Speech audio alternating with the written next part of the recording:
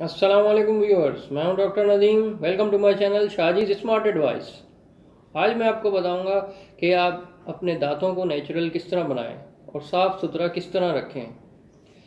इसमें आपको सबसे पहले तो बेकिंग सोडा लेना होगा, एक टीस्पून बेकिंग सोडा ले लें और उसको किसी जार में या प्याली में किसी में आप रखें और इसी तरह सॉल्ट थोड़ा सा चाहिए होगा। क्वार्टर टी स्पून सॉल्ट चाहिए होगा।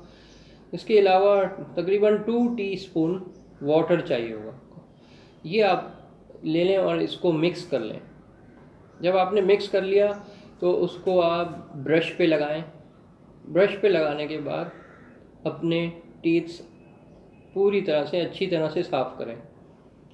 और आप इसका रिज़ल्ट देखेंगे कि ये आपके दांत चाहे पीले हों कहीं साइडों में से काले हो रहे हों, कोई इस तरह की प्रॉब्लम हो तो वो बिल्कुल साफ़ सुथरे हो जाएँगे। या तो इसमें यही अहम चीज़ें थी जो मैंने आपको बतानी थी।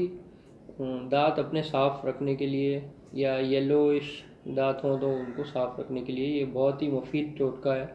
ये आप इस्तेमाल करके देखें। ये इन आपको काफ़ी अफाका होगा।